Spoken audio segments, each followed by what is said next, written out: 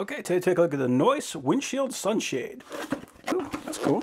This actually comes with a leather case, so that's going to be nice. If I'm going to be throwing this in a door compartment, I can just take the whole thing, throw it in here, and not have to worry about anything getting scratched up. So that's very cool. They do have a tether on the handle, so if you want to, you can just hang this onto something. Looks like you got a piece of Velcro holding it together. And then it should just kind of unfold like an umbrella. So we're going to press this red button and then pull it apart. Cool. Yeah, actually works pretty darn nice. So nice and flat. We got these flaps on the sides that help to accommodate different size windshields. And then on the top, we got this guy that'll Velcro around the rear view mirror. So that way you don't have to worry about light poking around through there. So the whole thing feels pretty well made. It's like somewhat flexible, but still rigid. So that means that you're gonna be able to kind of knock this thing around without having to worry about damaging it. I also like seeing that we got a reflective side facing the sun and then a black side facing the inside of the car. So that's gonna help to reflect most of the light and the heat away. So that's good. So let's go ahead and see how it works.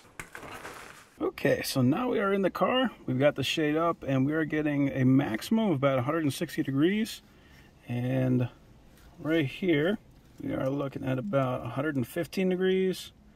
And then on the steering wheel, it's about 116. So although it is getting plenty hot, most of that is getting absorbed by the sunshade itself and reflected back. So now I'm gonna take the sunshade down and we're gonna see what happens to the car without it. Okay, so Steering wheel is now 132. It's been about 40 minutes.